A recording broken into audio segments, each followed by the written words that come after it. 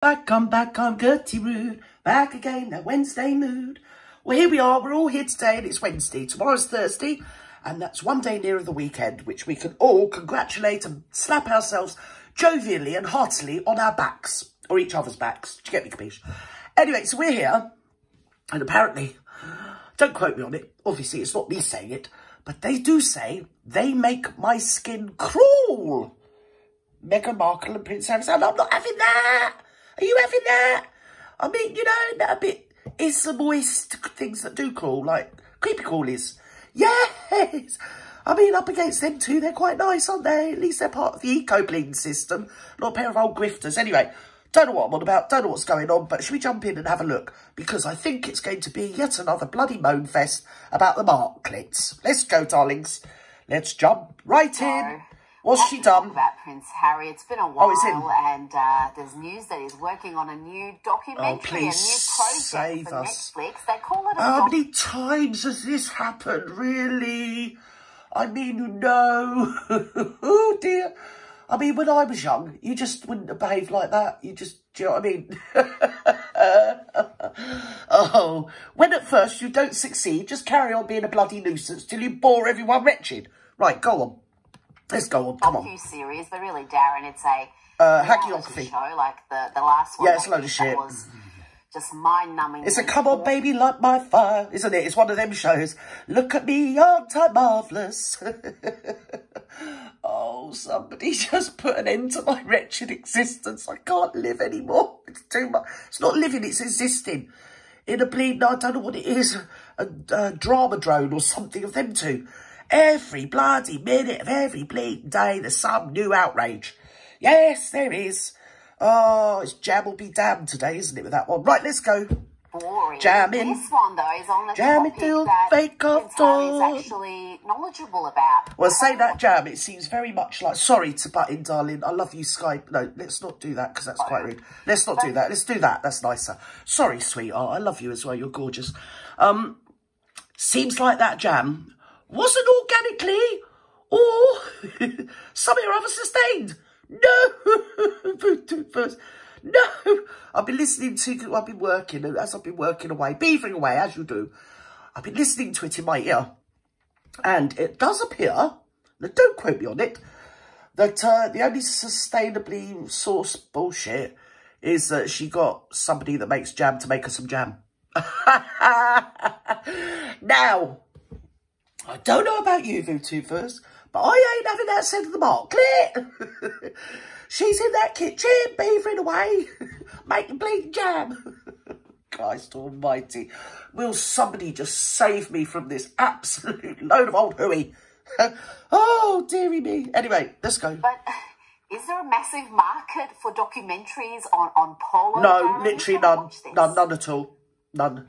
Well, absolutely. There, there clearly isn't a market for that. You know, polo, it, it, it's quite. That's. Darren Grimes, you know. Do you know, sorry to butt in, Darren, darling. Darren, sweetheart. I don't want to sound voodoo, but looking at your eyes, I'm wondering, you know, hello. Oh, dearie me, Darren. I like Darren Grimes, but he seems to have, like, changed or so. Oh, that's what's happened, Gert. He's grown up, and he... Because he's been around since he was really young. And he just looks totally bleeding different. To be fair, yes, I'm not going to say any more than that. Because, yeah, I like him. But, uh, yeah, get a few early nights, darling Darren. That's what you should do. That's what you need to do. Yeah, listen to Gerty's advice. Get your head down early. And I mean, when I say get your head down, I mean on a pillow. Yes! Never mind. Right, let's go. Sports. Looks tired, doesn't he? popular anywhere in the world. I love. Darren. It's basically what I would describe as a sort of a, a penchant for posh people. But look, I, I. Well, it's like I said before, it's the sport of bleeding kings, isn't it? Right? Do you see how they can turn on a hair, those poor horses?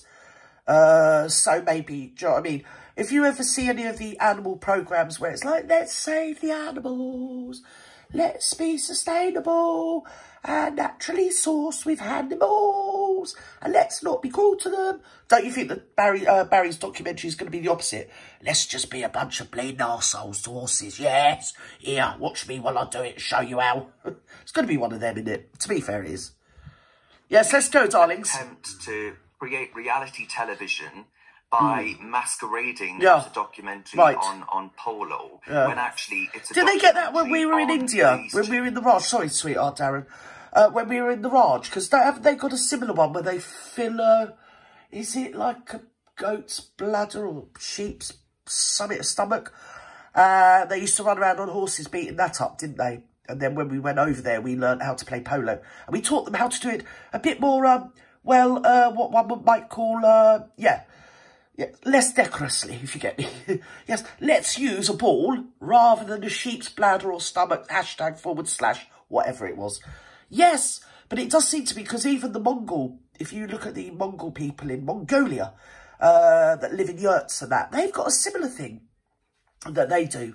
And is it on horses? Me thinketh it is on horses, you know. Yes! And I think there's another one, they do it on camels, which could be somewhere else, but I don't know where it is. I don't know, I'm going with this bullshit. Anyway, yes, polo, uh, literally don't mean shit to anyone, uh, apart from rich people. Because obviously, when we went over there, to India, wherever it was, they played their version of polo. And Stolder did it, and we brought it back, you see.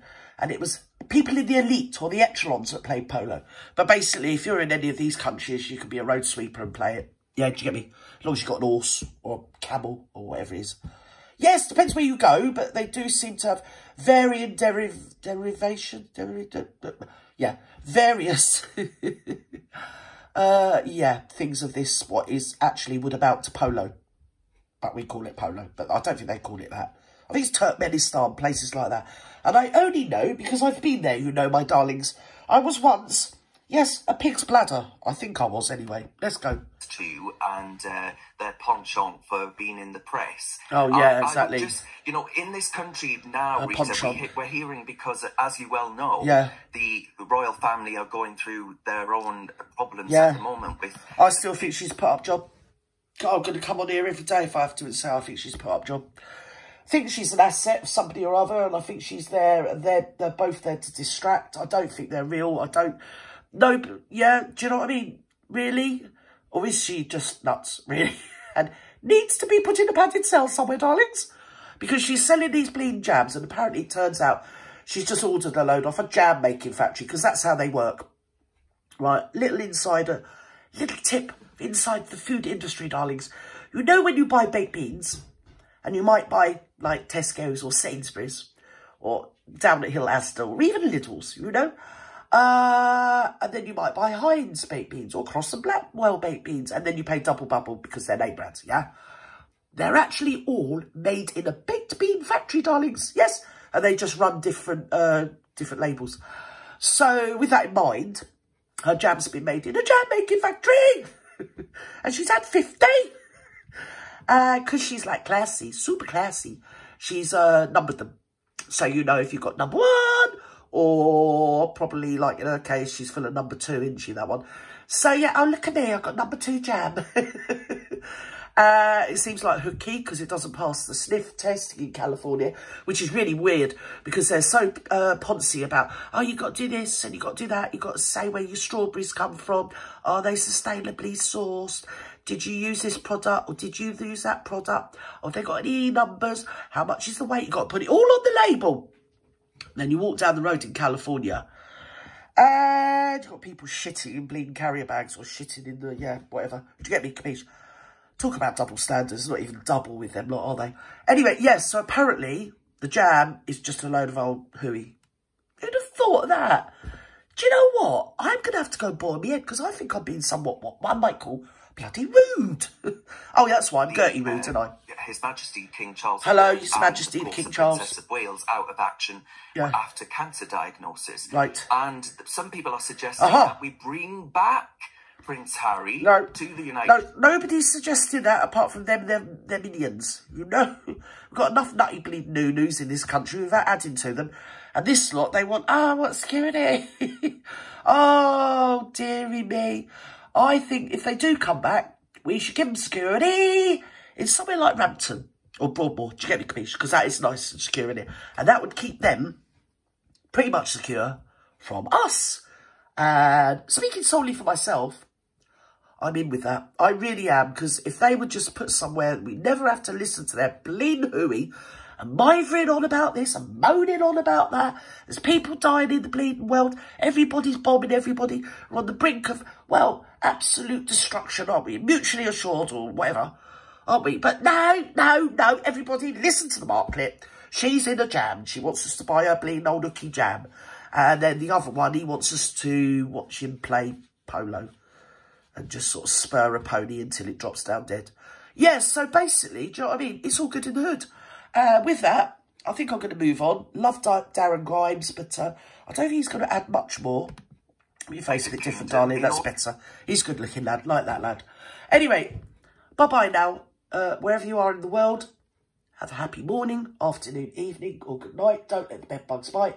Don't let the buggers get you down. And still haven't had time to do my um parody. I will, I'll get round to it. Got my grandson off school. He only went back for a day and he's off with a bleeding... I don't know what it is going around. There's something in the air in there, sickness. Oh, I mean, elbow deep in bleeding vomit tube. I mean, who would have funked it of your poor old Gert? Just as well I'm a scrubber, innit, really? Hey, do you get me, capiche? Anyway, bye-bye now. Love you and leave you.